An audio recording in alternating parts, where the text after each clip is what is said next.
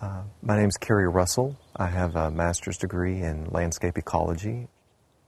So now we find ourselves up on a very high spot that has very, very sandy soil, very dry. Whereas a minute ago we took a look at the post oak, which admittedly was on a dry site, but it was still on a slope.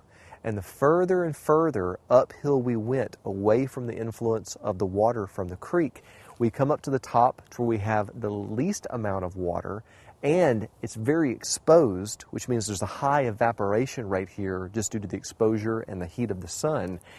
And the species that we find when we get up here is the blue jack oak.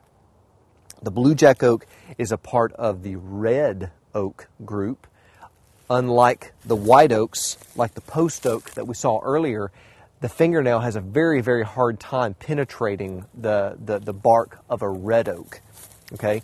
Other examples of oaks that fall into the red oak group are uh, the live oak, uh, the, uh, the cherry bark oak, the southern red oak. Maybe, maybe some of you know examples like that. The other thing is that when you look at the leaf, the leaf of the blue jack oak does not have lobes. This could be said to have very shallow lobes or small lobes, but the main thing that I want you to notice is that what you find at the end of these are pointed tips. And that's the thing that makes it also fall under the category of the red oak group. White oak group had rounded, soft tips. This has very pointed tips.